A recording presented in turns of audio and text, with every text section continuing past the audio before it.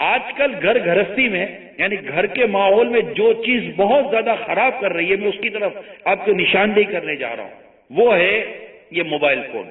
मैं आपको इसकी वजह बताता हूँ। आप बाहर रहे, आठ घंटे, दस घंटे, बारह घंटे कन्वेंस वगैरह काम काज कर वगैरह करके घर गए ना फिर?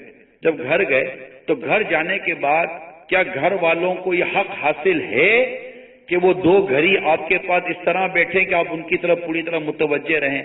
उनकी बात सुने ये हक हासिल है? इनको ये पूछ रहा हूँ। औलाद जवाब दे क्या माँ बाप को यह हासिल है कि बेटा कामकाज से घर पर आया है, अब कुछ लम्हे हमारे साथ बैठकर वक्त गुजारेगा को हमारी दो बातें सुनेगा। माँ बाप को यह हक हासिल है? बीवी बच्चों को यह हक हासिल है?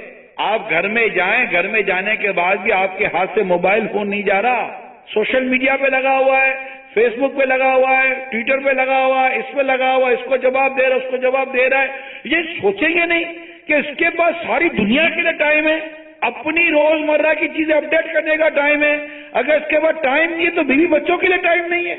इसका नतीजा क्या निकलता है? नतीजा ये निकलता है, घर में फासले पैदा हो जाते हैं। यानी इस वक्त मेरी मालूम के मुताबिक घर टूटने में और आपस की नाराज़गी में मोबाइल बहुत बड़ी वजह हाँ। रात रात भर ये मोबाइल फ़ोन लेकर बैठे रहते हैं। घर वाली को टाइम नहीं देते, बच्चों को टाइम नहीं देते। अगर घर को प्यार अमान और सुकून का घेवारा बनाना है तो जब आप घर में आए ना तो घर के हो जाओ। जब शोर घर में आए तो बीवी को भी चाहिए कि मुस्कुरा कर दरवाज़ा खोले। उन्होंने दरवाज़ा खोल दे ये आने का टाइम है। वो बोलते, जाता हूँ वापस। ये ये तरीका थोड़ी है। एक दूसरे के साथ वक्त दें। आज ये नियत करें, औलाद नियत करे कि माँ बाप को वक्त देंगे। शोर नीयत करे कि इंशाला बीवी बच्चों को वक्त देंगे।